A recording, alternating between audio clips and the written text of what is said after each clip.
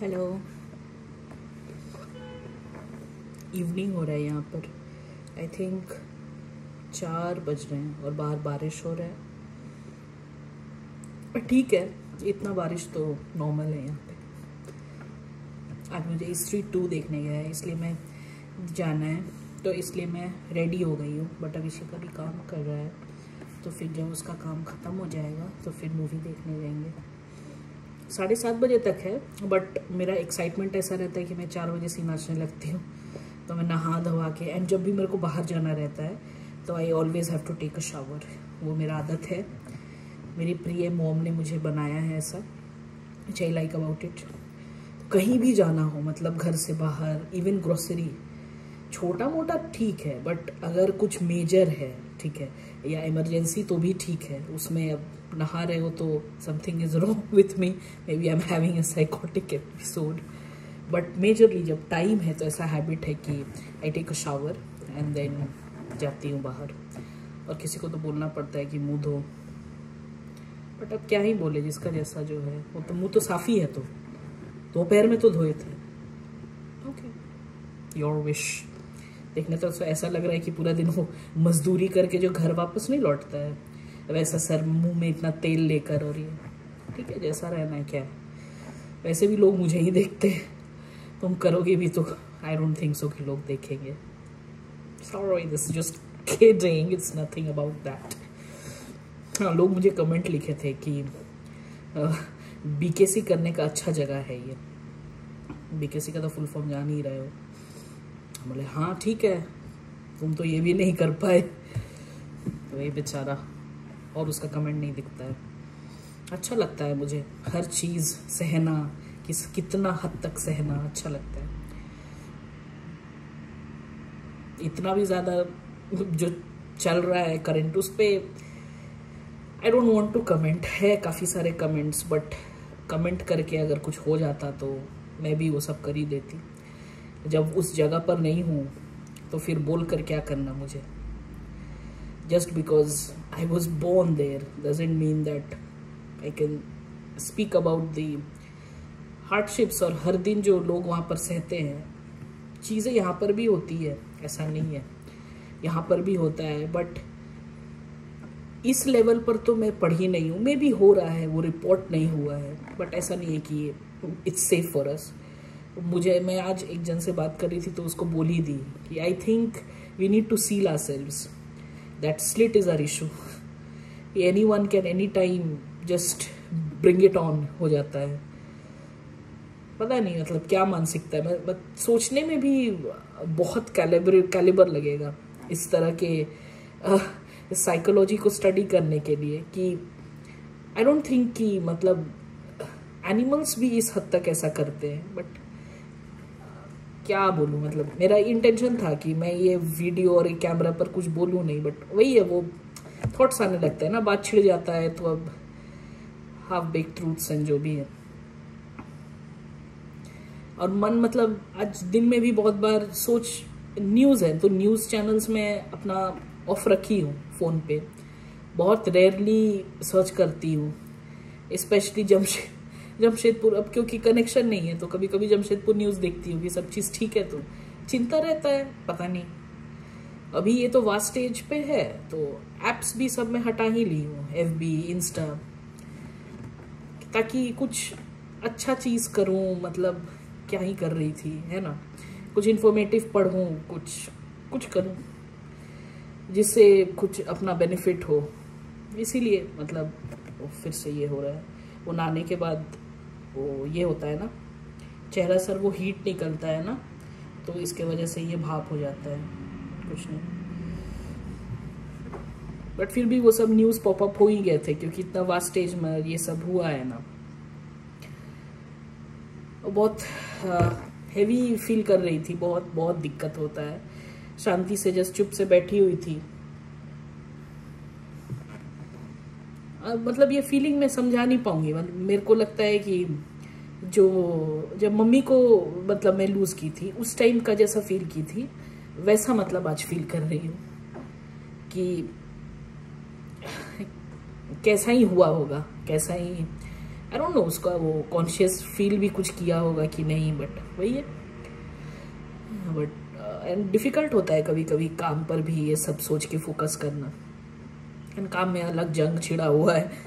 सब नए इम्प्रूवमेंट्स ला रही हूँ तो obviously you have to face backlashes है ना, क्योंकि बहुत दिन से कुछ नई प्रैक्टिसेस इंट्रोड्यूस होते हैं एंड कोई नया आता है and they try to introduce just like कोई न्यूली वेड बंदी है जो इन लॉज के घर है एंड बहुत दिन से कोई बेकार चीज़ चला जा रहा था and she wants to improve that तो बोलेंगे तो अभी बाहर से ये इतना शो ऑफ़ अभी से ही स्टार्ट हो गया है ना ये सब।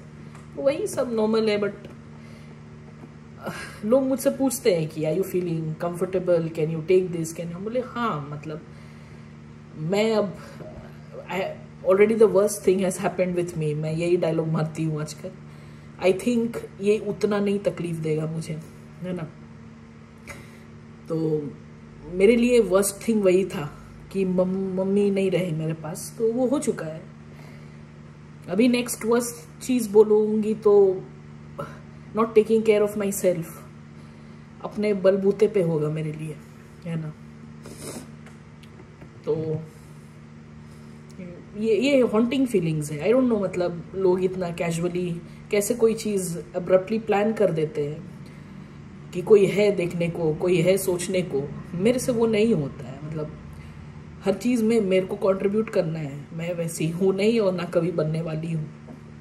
मुझे पसंद नहीं है खैरात में मिलने वाली चीज़ और लोग मुझ पर एहसान करें। बिकॉज़ दीज आर एहसान for me if I am not contributing in any way ठीक है आई मैं वो बार्गेन नहीं करती हूँ कि मैं घर में ये कर रही हूँ तो तुम वो कर रहे हो। कोई चीज़ खरीदने के लिए पैसे लगते हैं सिंपल सा फंडा है। वो पैसे अगर मेरे पास है नहीं, वो एहसान खैरात है मेरे लिए। उसको अगर आप लोग को बुरा भला कहना है, कहो I give a damn. But मेरे लिए यही उसूल है। मेरे को अपने बलबूते पे करना है and just because I married a guy doesn't mean that he is now responsible to take care of me हाँ ये बात है कि मैं यहाँ पर देखती हूँ मतलब कैंसर पेशेंट्स है कीमो है दे दे खुद ग्रोसरी ले रहे हैं। मे भी मुझे लगता है कहीं ऑनलाइन शॉपिंग में जो ऑर्डर कर रहे हैं, वो नहीं आता है एंड रिप्लेसमेंट्स देते हैं। बट यहाँ का अलग ही आउटलुक है। They they they are encourage to take care of your of their life ठीक है? ऐसा दे दे नेवर थिंक कि यार कोई आया नहीं मिलने। No one is bothered in my family मेरे रिलेटिव्स को कोई फ़र्क नहीं पड़ता है। उनका चेहरा एंड बातें की हूँ मतलब आई डोंट एकदम थोड़ा सा भी ये सब चीज़ें नहीं है। They are solely responsible for them ठीक है। किसी का एहसान यहाँ पर लोग लेते नहीं है, जो अच्छा चीज़ है बहुत एंड अच्छे जगह पर हूँ मैं, जो मुझे ये रिमाइंड करे कि मुझे सेल्फ सफिशेंट बनना है। मतलब यहाँ पर बारिश हो, कुछ भी हो, कैसा भी वेदर हो, मैं देखती हूँ यहाँ मम्मीज़ को कि स्ट्रोलर में लेकर बच्चे को घूम रहे हैं, है ना? इंडिया में बारिश होता है तो बहाना हो जाता है कि बारिश हो रहा है, यहाँ नहीं जाना, वहाँ नहीं जाना। यहाँ पर लोग दौड़ रहे हैं, ये कर रहे हैं। तो और तादाद बहुत है। इंडिया में भी है अच्छे लोग जो ये सब करते हैं and they doesn't matter to them but यहाँ पर it's a normal thing India में it's a luxury thing to think can do like that तो उतना देखने को मिलता नहीं है। कितना ही लोग को देखते हो रास्ते पे तो वैसे भी दौड़ोगे तो कहाँ ना कहाँ को कहाँ रख के मार देगा। और उसका फिर कोई माई बाप है नहीं, वो कहाँ भागा, कब पकड़ाएगा, क्या होगा? अलग लेवल पर है वहाँ पर। दुर्घटना दोष। तो कभी कभी मन करता मुझे एनलिस्ट करने के, ये सब चीज़ें। क्योंकि बहुत वाइल्ड वाइल्ड टाइप से एक मैप बना हुआ है मेरा, पूरा इंट्विंडल्ड है। ठीक है, आज इंडिपेंडेंस डे है। बहुत लोग ने जान दी है, ये भी डायलॉग्स आए हैं काफ़ी सारे पोस्ट्स में। तो जो चल रहा है, वो तो उसके लिए किए जा रहे हैं but just wishing happy Independence Day और ये। मेरा मेरा इंडिपेंडेंस डे तो मुझे खुशी मिलती नहीं थी कभी भी। रिपब्लिक डे इंडिपेंडेंस डे होता था ना, मम्मी सुबह में पूड़ी छोले बनाती थी, मिठाइयाँ आती, आता था एंड ये। हमको लगता था कि उस दिन भी तो ये डांट सुन ही रही है। उस दिन भी मेरे साथ बदसलूकी हो ही रहा है। उस दिन भी किसी का बात नहीं सुने जा रहा है। तो ये आज नहीं रियलाइज़ की हूँ। ये जब पिद्दू सी थी, मैं तब से रियलाइज़ कर रही हूँ कि theoretically in history books 1947 15th August is there सुनहरे अक्षरों में। बट प्रैक्टिकली वो कभी पॉसिबल होने वाला है नहीं। जब अंदर से इतना ट्रैप है है ना? तो इंटरनली फ्रीडम तो मुझे काफ़ी पहले मिल गया था। एक्सटर्नल फ्रीडम का डोंट नो कब तक झिक झिक झिक करना होगा। आई रियली फील लकी कि यहाँ पर हूँ, मुझे अपॉर्चुनिटी मिली है। एंड खुदा ना खास्ता मतलब in worst of worst cases अगर कभी मुझे जाना पड़े मतलब this thought just just pisses me off like anything I would say. And it, it scares me. One of my fear कि मुझे वापस लौटना पड़ेगा।